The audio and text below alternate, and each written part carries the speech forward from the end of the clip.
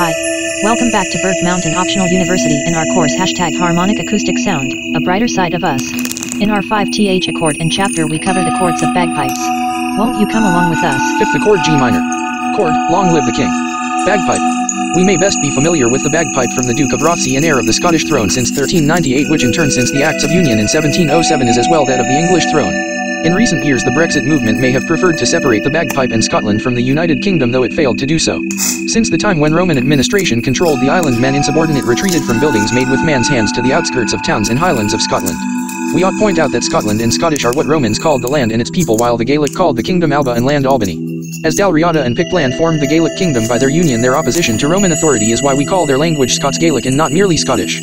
The constant and inconclusive cultural battle has us in the Western world oriented to Scot while those Europeans see them as Gaelic and Alba.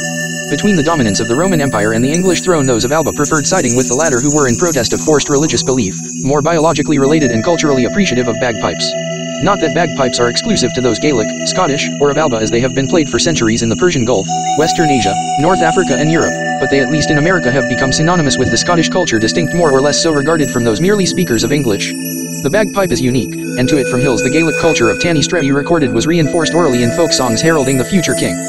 The bagpipe is unique instrument which those from Scotland at least in America have monopolized its production, instruction, and distribution. Comprised of air supplies and bags together with drones and chanters, the bagpipe has a unique continuous sound and rhythmic flow that keeps listeners' attention.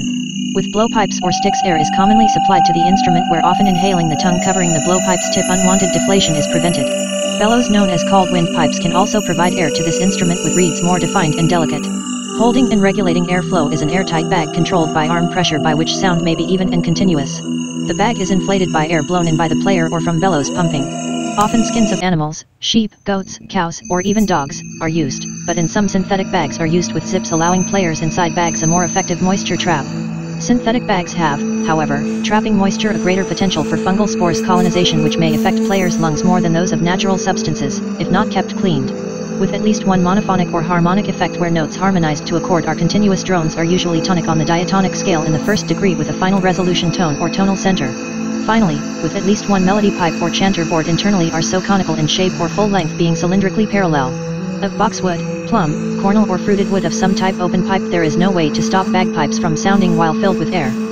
To bagpipes from hills the Gaelic culture of tanistry recorded was reinforced orally in folk songs repeated until time for war. As bugles signal troops to move hither and thither, to and fro, bagpipes though mostly for folk music called men just as readily to sing folk songs to assemble for war as well and if not more rapidly.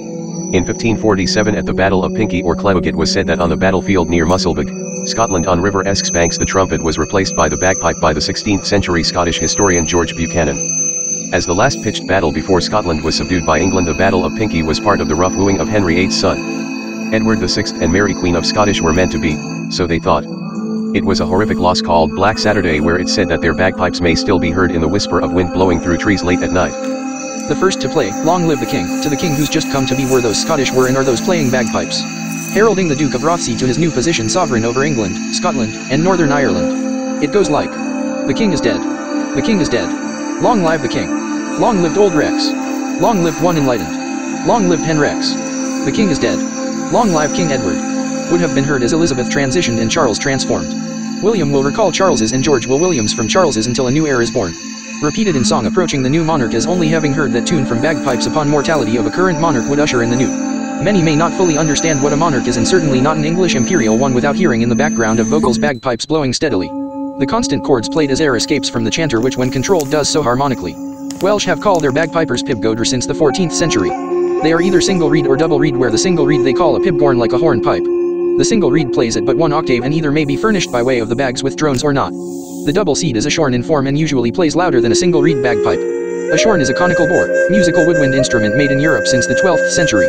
Irish bagpipes are called PIB more or war pipes send sound waves translating to signals for battles and played by some New York American police forces. Bagpipes are unique where from hills the Gaelic culture of tanistry recorded was reinforced orally in folk songs, heralding the future king and war. What is history but those who lead today and how they will be remembered tomorrow by the future presently?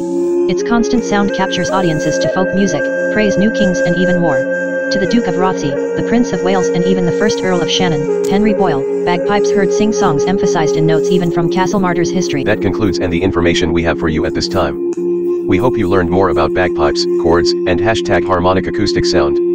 Next session we cover My Country Tis of Thee, Tone and Symphony. We can't wait to see you there. Buckle up and drive safely, it's the law.